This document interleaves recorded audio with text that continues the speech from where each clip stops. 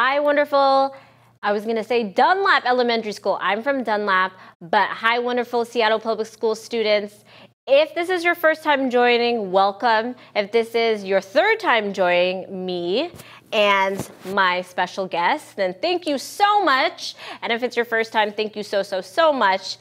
I appreciate you working hard during this hard time when you have to stay at home. I appreciate that you really care about your education and your goals, all right? So you're doing great. So, like I said, I'm Miss Palapil. I'm a fifth grade teacher at Dunlap Elementary School, and my special guest is my daughter. Introduce yourself, Ajane. Hi, my name is Ajane. I go to Dunlap 2 and I'm in fifth grade. So, before I tell you the goal I want you to achieve today, I'm going to do a little mental math with you, all right? So this doesn't involve any writing or paper. If you do have writing and paper, amazing, because I want you to have it for later. But let's start off doing mental math, okay? And really, really think about how you're going to solve a problem. All right, so the problem we have is this expression is 140 times 10. Now, think in your brain. How do we solve this problem without paper and pen or a calculator? How do we solve this problem? What strategies do you come up with? And at home, if it helps you, talk out loud. Talk to yourself. Or if you're watching this with someone else, tell them. Talk to each other. All right. Ajane, did you have enough think time? Yes. Yeah. All right. So at home, I want you to tell, if you have someone, with you. Tell them, how do you think you would solve this? If you don't, that's okay. Just say it. Say it to the TV, laptop, smartphone, whatever you're on. All right? Okay, Ajane, share yours, your thinking with us. How I think I would solve this is since it has a 10, I would. Do you want to come on this side and point? Is that going to help you? Yeah. All right. Sit on my chair. We'll switch. Ah. But since it has a 10 place, I would probably put the zero right there so we can make it into a thousands, please. All right, so let's, why don't you write? Can you write big and show us? Here. So, you write. So like. And if you're at home, watch and decide if you agree, disagree, if you came up with other strategies. So tell us what you're doing. So I'm putting the 140 right here, and then and then put the 10 right here, and then I would drop the 10 and put it right here so it can make it a thousand. Okay, now turn to them, face them, and explain it again. Explain your thinking one more time. So I would put since I since there's a 10, I would use the zero of the 10 to put it in the 140 to make it a thousands place. So your product is what? And product means answer to multiplication. So this is a multiplication problem. So what is your product? My product is 1,400. Okay. So can we switch places now? Thank you for your thinking. And at home, did you do something similar to Ajane or did you do something different? Hmm. So let me ask another question. Here we have 140 and we have to increase it 10 times. Did you also think about that? And this can be yes or no at home. Because you're not here, I'm just throwing out ideas that maybe you thought of. So 140 times 10, I was thinking, oh my gosh, this number has to increase by 10 times. And I know if we multiply a number by 10, it increases by one place value. Did you think of that? So remember, look up here. So remember the zero digit is in the Ones. ones place. Ooh, this marker is a little bit messed up. The four is in the uh, Tens place. tens place, and the one is in the Hundreds place. hundreds place. And I know in fourth grade, you are learning how to multiply whole numbers by 10. And in fifth grade, we are really, really, really studying how to multiply by 10, hundreds, and thousands. So I know that when you multiply by 10, increases one place value. And her product, her answer is 1,400. So the one, the zero digit in the ones place increased to the, what do you guys think? The zero digit in the ones place increased to the Tens place. tens place. The four digit in the tens place increased to the Hundreds place. hundreds place. And the one digit in the hundreds place increased to the Thousands place. thousands. And if you don't understand this, this was a really quick lesson. It was just to get your brain working. That's okay, okay? We are actually going to continue working on our decimal goals. So, the first in the first video, if you watched it, that's okay. If you didn't watch it, that's okay. We're just going to go through the goals, um, and our first goal is goal. I will understand and write decimal place values, and then the second day, our goal was I will compare numbers with decimals, and then now I'm going to read our last goal and then you'll reread along with me. All right? So, our last goal for this week is I will solve using standard algorithm for subtraction and addition with decimals. All right? So, let's call read. Ready? Go. I, will solve using standard algorithm for subtraction and addition with decimals. All right, so we're just gonna go into it. We, we understand place value, or we're still practicing. We are comparing, we compared numbers with decimals, and remember, we're still practicing. And now we're gonna learn standard algorithm. How do we solve numbers? Um, using addition and subtraction with de- decimals, all right? So, let me go over here. Let me move this chair right here. My board's kind of messy, so I'm gonna put, I'm gonna use this side. Okay. Let me see if I can like this. All right, so we have, let's pick a number. Let's do, tell me, who? How about let's do a random number. Three and eight. Okay, three and eight tenths. And we have to add it with what? Four. Four and 17 hundredths. Let's read the equation with me. Ready? Three Three and eight tenths plus four and 17 hundredths. All right. Now we are going to break this up in expanded form so we can solve it okay, the correct way. Everyone say it with me. Expanded form. Expanded form. Expanded form. Expa- Expanded form. expanded form. There we go. All right, so we're gonna break this up, and this number will be what is this number? Three, Three wholes, wholes. Three wholes plus. Four. Four wholes. Wait, we oh. have to. Oh, plus eight ones. Three wholes plus eight. One. Let's let's let if you at home let's let's use our let's count with our place value. Ready? Tens. Tens. Ones. Ones. So we have three wholes and Eight. eight tenths Tenths. plus what is this?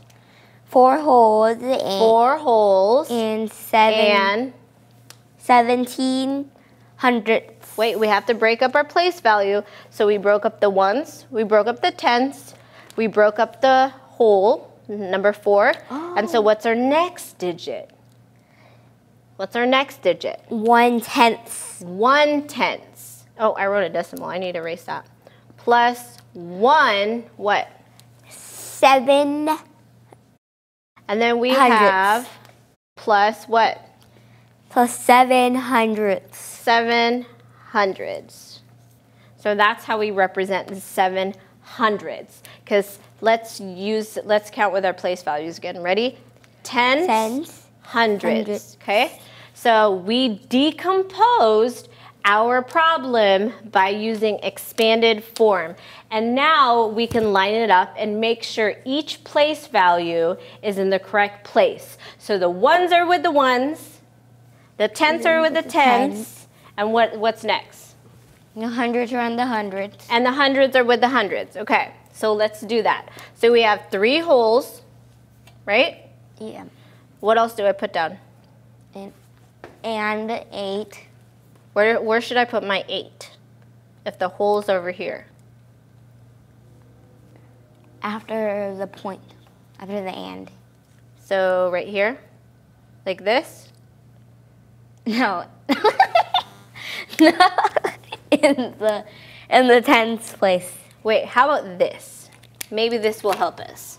Can we write the place value? Do you want to do the place value chart? No. I do. Okay, so we have tens, right? Mm-hmm. Ones. And then we have tenths. And I think that's it. Can we stop? No, we have a hundreds. And also, if you have your place value chart at home that you used before, bring it out. This is great to really understand. So we have three wholes, correct? So where should I put the digit three? In the ones place. So I should put the digit three, and then I have, what's this number? What's this digit? Tenths place. So where should I put In the tenths. in the tenths place, right? And then where should I put this digit? in the in Where do you think at place. home? Where should I put four? In the ones place. In the ones place? Mm-hmm. And where should I put this number? In the tenths place. Or tenths place, right? And where should I put this digit? In the hundredths place. In the what? Hundredths. Hundreds place. All right. So let's put our decimal, decimal, decimal, decimal.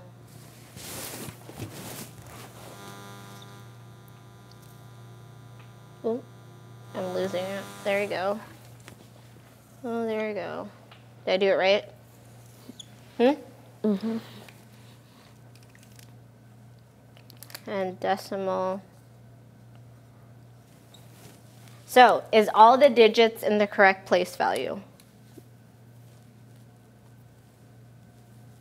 So she's doing the agree sign. Are all the digits in the correct place value? So the three and the four, is it in the ones place? Yeah. Is the tenths, the eight digit is in the tens place? yeah. The one digit's in the tens place? yeah. And then we have the zero from the zeros, the seven hundredths. And then how about is everyone in line in the hundreds place? And then we need to put our no values. So do we have a value here? No. Do we have a value here? No. Do we have a value here? Nope.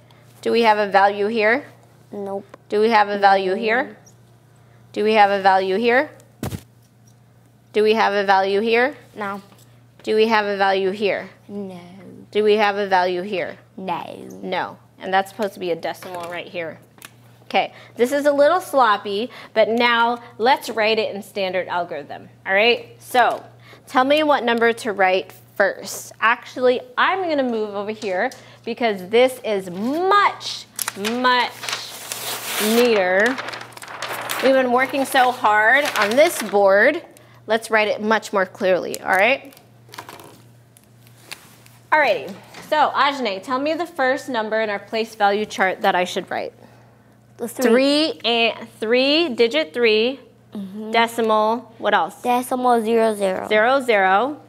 Next, Uh, decimal eight zero.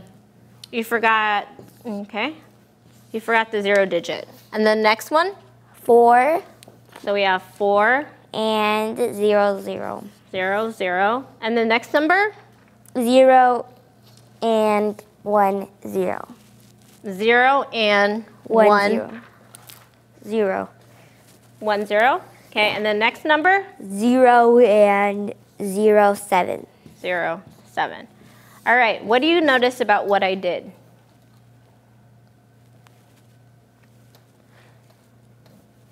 At home, say it out loud. What do you notice about what I did? What do you notice, Ajane? Oh, what I noticed about what I did was um, when what you did was you lined up the decimals and you didn't keep any place value without anything on, on it. What do you mean by anything on it? Like without a number on it. Like Do in the place value. Do you mean I made sure when there's no value, I represented it with a zero? Yeah. All right, so now can we solve? Let's go back to our expression, our first equation. Let's read it. Three, Three and and eight eight plus plus four and and seventeen seventeen hundredths. Okay? And we forgot to say eight tenths. That's okay. Now, do you notice that every digit is in the correct place value? Yes. Okay, so can we solve? Yes. Does this look familiar, the standard algorithm for addition? Yes. And at home, if you're answering back to me, thank you so, so much. So we have 0 plus 0 plus 0 plus 0 plus 7 is, help me out, Seven. 7. 8, 0 plus 8 plus 0 plus 1 plus 0 is Eight. 8. And then we line up our decimals. Also, did you notice at home that all the decimals are in line? Because all the digits are in their correct place value, okay? And then we have 3 plus 0 plus 4 plus 0 plus 0, Seven. 7. So what is the sum of our equation? Seven and eighty-seven hundredths. 7 and 87 hundredths. That was a lot, right? We literally decomposed. Sit up, we're in school. We literally decomposed this number in expanded form. But here's a shortcut. I do want you to take a shortcut because you don't have to decompose every single number to solve using standard algorithm. You just have to make sure that all the digits line up in their correct place. Okay? So what I mean by that is instead of decomposing every digit like we did, what we can do is make sure our decimals are lined up, which will help us make sure that each digit is also where it needs to be in the correct place value. All right? So we had 3 and 8 tenths plus 4 and 17. And if we line it up, I'm going to write it like this 3 and 8. And where should the 4 digit go, everyone? Right here. If I lined it up correctly, Oh, under the three. under the 3, because 3 is in the ones place and 4 is in the Hundredths place. 4 is in the Hundredths place. 4 is in the hundreds place. Oh, Let's count. The- Ready? the ones place. Hundreds, Hundredths, tens, tens, ones. ones. So are they both in the ones place? Yeah. Yes. And then are our decimals lined up? Yes. Yes. And the one, where do I put the one digit? And behind, and on the bottom of, below the eight. Below the eight, okay. And then where do I put my seven digit? Right next to the one. Right next to the one, okay. And this is instead of doing expanded form, we just made sure the faster shortcut to line up our decimals and line up our digits in the correct place value. And so what I put right here when there's no value, Invisible zero or zero. yeah, zero. Now, can we add it and solve using standard algorithm? Yes. Yes, so zero plus seven is, Seven. uh-oh, Zero plus. what do we do? Did we get the same answer? Uh-oh, you guys, I'm so glad that I caught it. Ajane, what's eight plus one? It's nine. Nine. She told me eight. I That's didn't okay. say that. She said.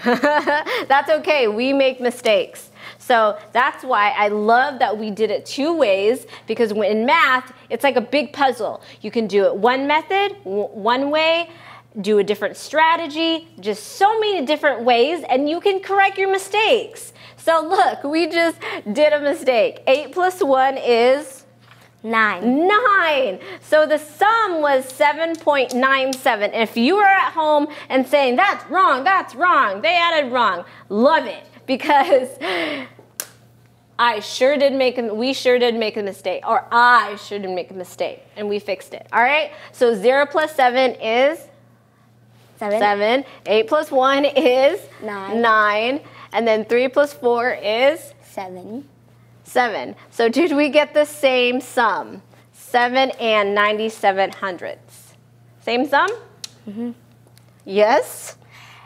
Yes. Yes. All right.